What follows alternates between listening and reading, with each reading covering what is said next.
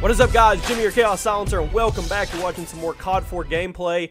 And I wanted to add this into the videos today because I just saw this from Charlie Intel uh, Source and link in the description of their their website. Dudes are on top of things. Them and MP First are the two best that I check out for all the updates to Black Ops 2.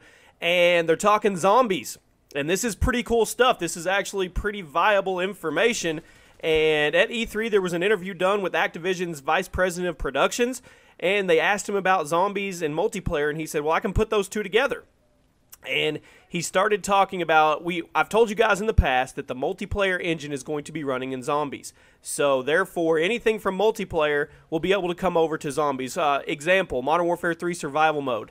You could you you could on survival mode you could play the maps that were in multiplayer. That's the kind of thing that they're talking about where you can just interchange the two. They become how would you say, lockable pieces that can be used back and forth, zombies multiplayer. And he goes on to talk about and confirms that theater mode and wager matches are going to be coming to the new multiplayer zombie engine.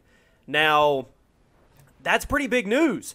Um, not only about the theater mode, we knew theater mode was going to be back for multiplayer for Black Ops. They did a pretty good job in Black Ops. They definitely definitely put Modern Warfare 3 to shame with theater mode. I've got some really good friends that love the Black Ops theater mode system and were just so disappointed in Modern Warfare 3. So I expect to see a strong showing from theater mode and multiplayer for Black Ops 2. But now we're going to have theater mode and zombies mode. So you're going to be able to make zombie movies and zombie montages. This opens up the door completely for zombie montages, which we've never really seen. Yeah, somebody can record the gameplay and manipulate it and edit it and make a montage, but now you can put up a dolly cam. You can set dolly cams up in corners. You can do so many things with theater mode while you're playing zombies, especially at those higher levels. Some people are going to be able to capture some insane, insane footage and put together some really cool content. I can't wait to see it. I hope my boy Mr. Blackout makes a comeback on it because he would be the one I would want to watch do that. And they talk about wager match being in zombie mode. So on top of regular zombie modes, 4v4 zombies where you're my team's fighting your team and we're all fighting the zombies.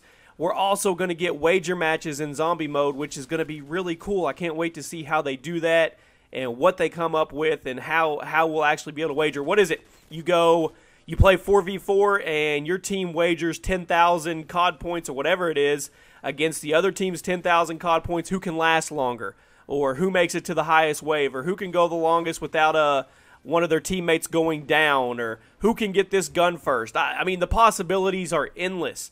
I mean, it's going to be really cool. So let me know in the comment section what you think of this. Theater mode going to zombies. We already knew that the multiplayer engine was going to be in zombies, so that's really cool. And let me know what you think about wager match mode being in zombies. I mean, personally, I think that's awesome. The most exciting thing to me about this news is the theater mode in zombies because I cannot wait to see some of the amazing content creators out there on YouTube that are going to put this to use and make us some sick, sick zombie movies from this, especially like montages and stuff. So let me know what you guys think.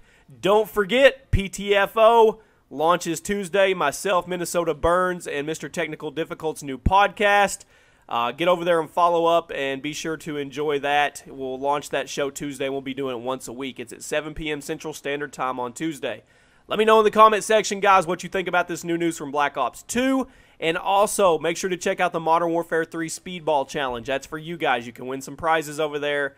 And that's it. Help me get this video out there. Let's try to get this to 200 likes. Every time I ask you guys, you guys go above and beyond. So let's let's give it a roll.